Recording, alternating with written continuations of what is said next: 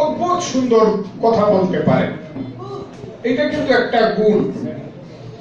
রাজনীতিতে প্রথম এবং প্রধান যে অস্ত্র, তার নাম হলো বক্তৃতা করতে পারা জনগণের রাজনীতিতে। এটা আমি নরসিংদীতে এসে দেখলাম, আপনারা প্রায় সবাই খুব সুন্দর বক্তব্য রাখেন। আমি আমার কথা বলার আগে আজকে যিনি মৃত্যুবরণ করলেন জনাব শাহজাহান মিয়া তার স্মৃতির প্রতি শ্রদ্ধা জানাচ্ছি এবং আমার এই পাপ মুখে আল্লাহর কাছে দোয়া করছি, আল্লাহ যেন তাকে বেহেস্ত নরসিংদী জেলা বিএনপির সভাপতি প্রতিষ্ঠাতা ছিলেন কফিল উদ্দিন আহমদ অ্যাডভোকেট এবং পরবর্তী সময়ে সভাপতি এবং বারবার এমপি ছিলেন জনাব শামসুদ্দিন ইসাক সাহেব সহ। যারা বিএনপি ছেড়ে আল্লাহর কাছে চলে গেছেন, আমি প্রত্যেকের জন্য দোয়া করছি, আল্লাহ যেন সবাইকে বেশ করেন।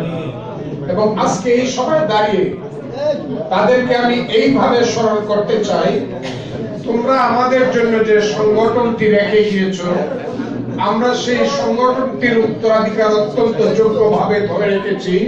তোমরা শান্তিতে ঘুমাও আমার আমি তাদেরকে সেইভাবে স্মরণ করছি। নরসিংদী আসলে নামটাই আমার কাছে অনেক অদ্ভুত লাগে, নরসিংদী। এই নামটা আসলো কি করে? আপনারা তো অনেকে জানেন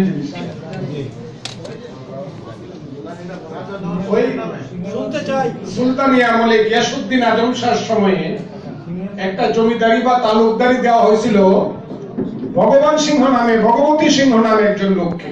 তার চার ছেলে ছিল, বড় ছেলের নাম ছিল নরসিংহ।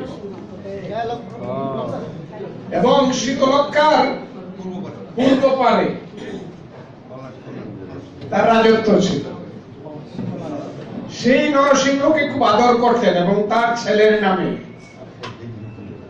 প্রথম হলো একটা বন্দর, সেটা নরসিংহ দ্বীপ দ্বীপ মানে দ্বীপ।